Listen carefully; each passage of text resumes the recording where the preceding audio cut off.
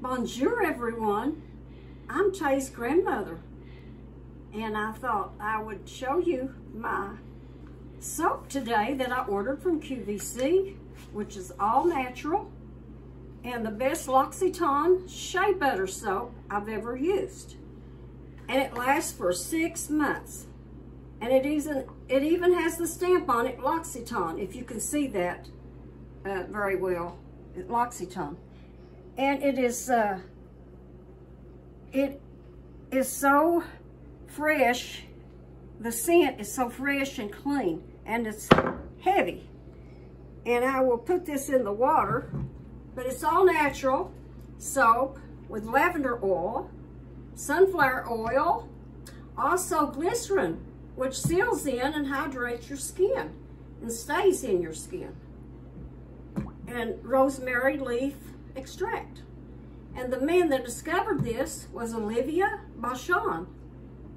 And he has a store in L'Occitane, Provence, in, in the south of France. And I just love this. And it's so nice and thick and lathery that I can't even hardly hold it.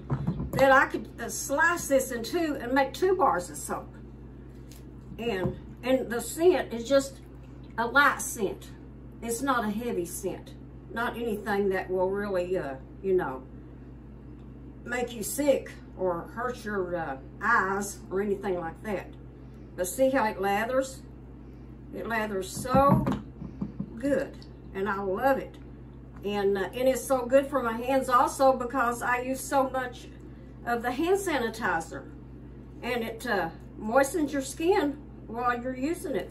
You can see the moisture in this in this soap as I rub my hands together.